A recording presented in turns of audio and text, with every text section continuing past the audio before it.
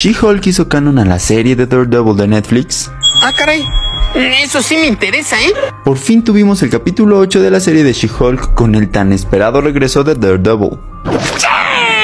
Y al ver de nuevo al personaje, muchos nos preguntamos si este sería el mismo Daredevil que el de la serie de Netflix, y al parecer podría ser que sí. Y es que tenemos dos referencias a la serie anterior que nos hacen pensar que estos dos podrían ser el mismo personaje. No me des.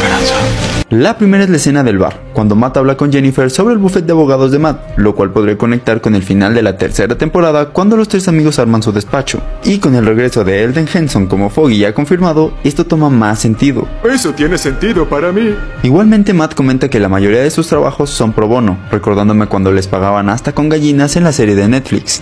Ese es un verdadero hombre. Y la segunda y más convincente es la escena en la que She-Hulk le pregunta su nombre de superhéroe, y mientras él lo dice, escuchamos una particular música de fondo. Gold Devil. I'm Daredevil.